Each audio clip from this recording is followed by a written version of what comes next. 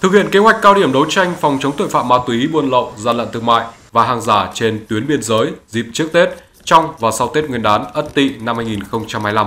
Phòng phòng chống ma túy và tội phạm, đồn biên phòng cửa khẩu quốc tế Cầu Treo Bộ đội biên phòng tỉnh Hà Tĩnh, Phòng Cảnh sát Kinh tế, Công an tỉnh phối hợp với Tri Cục Hải quan Cửa khẩu Quốc tế Cầu Treo đã bắt giữ một đối tượng vận chuyển trái phép 212 kg pháo hoa qua biên giới.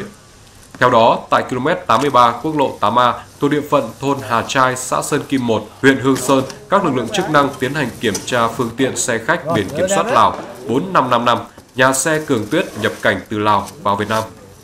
Bắt quả tang đối tượng Lê Văn Hưng sinh năm 2002, trú tại xã Đô Thành, huyện Yên Thành, tỉnh Nghệ An. Qua kiểm tra phương tiện, lực lượng chức năng phát hiện có khoang tự chế phía trên trần xe cất giấu 168 hộp pháo hoa, nhãn hiệu nước hoa nước ngoài có trọng lượng 212 kg.